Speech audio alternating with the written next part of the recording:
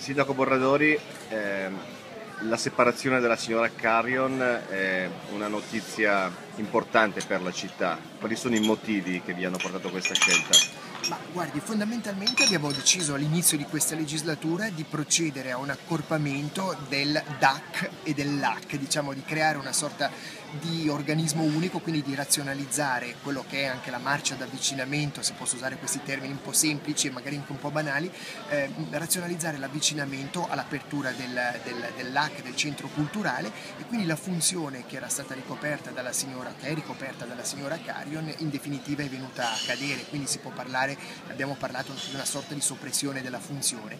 Quindi abbiamo proceduto a dare disdetta alla signora, però si può parlare direi quasi di una disdetta consensuale, perché prima di comunicare, prima di intimare la disdetta abbiamo io parlato personalmente per abbastanza lungo con la signora, la quale ha capito bene, benissimo direi la situazione e quindi siamo arrivati a questa situazione che dalla fine del mese di agosto eh, la signora Carion non lavorerà più per, per la città di Lugano. È sempre stato il suo ruolo contestato, in particolare dal mattino della domenica, da Giuliano Bignasca, che mm, hanno duramente contestato l'assunzione fin dall'inizio.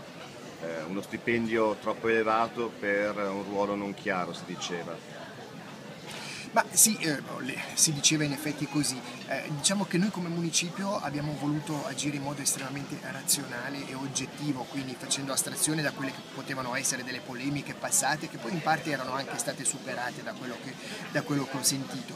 Quindi ecco, non si è trattato certo di una misura di risparmio, anche se evidentemente questo comporta un risparmio, ma proprio di una misura di razionalizzazione all'interno del Dicastero eh, della Cultura. C'è un, un direttore che è Lorenzo Sganzini e la signora Cariona avrebbe costituito un secondo direttore, diciamo così, questo avrebbe sicuramente, non dico causato dei problemi, ma causato diciamo così, un, un surplus di, eh, a livello di direzione che non si giustificava più proprio perché si è deciso di razionalizzare questo, questo processo d'avvicinamento all'AC. Ci sono stati sprechi secondo lei in tutta questa vicenda dell'AC con una costante doppia direzione che non è mai stata molto chiara per l'opinione pubblica?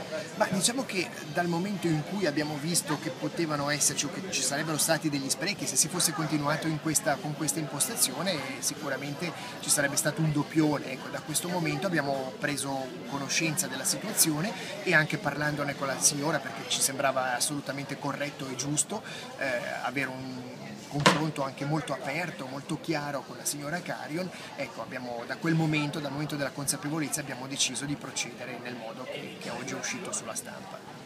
Eh, a livello cantonale eh, si parla di lacrime e sangue, di grandi sacrifici eh, per i prossimi anni, anche a Lugano c'è un progetto lacrime e sangue. Ma guardi, noi adesso avremo due giorni, proprio lunedì e martedì, in cui ci concentreremo, parleremo penso solo di, di, di, finanze per rapporto ai progetti che si vogliono portare avanti, progetti grandi e anche magari quelli un po' più minuti ma che sono ugualmente importanti. Uh, diciamo che a noi tutti, a noi sette, piacerebbe evitare di parlare di lacrime e sangue e cercheremo di evitarlo, cercheremo di individuare quelli che sono i margini di manovra, però certo non abbiamo sottaciuto, non possiamo sottacere che la situazione a Lugano è sicuramente una situazione molto molto molto delicata che va presa sul serio, che va affrontata con la massima determinazione possibile proprio per evitare che fra un paio d'anni le finanze escano totalmente, completamente fuori binario. Noi lo vogliamo evitare proprio per poter continuare a fare politica nell'interesse di una città che sappiamo ha tantissimi progetti, altrettanti stimoli e però evidentemente ha bisogno del carburante. Il carburante sono le risorse finanziarie. Ecco, in questi momenti si parla di tagli, di soppressione di costi, di riduzione delle spese, ma anche di nuove entrate.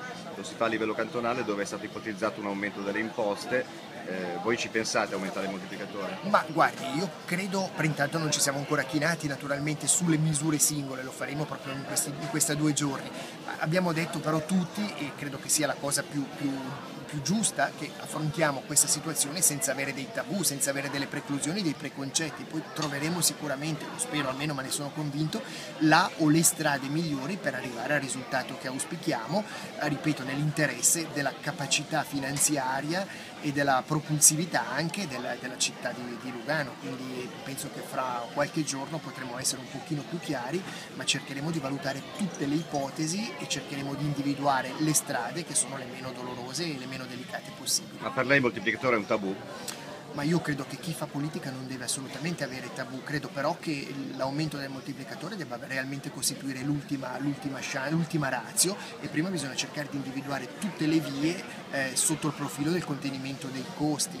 Ecco, però certamente anche, anche, l'aumento del moltiplicatore può essere messo sul tavolo come, come è giusto che sia, insomma poi alla fine decideremo come organo politico cosa fare, se e cosa fare.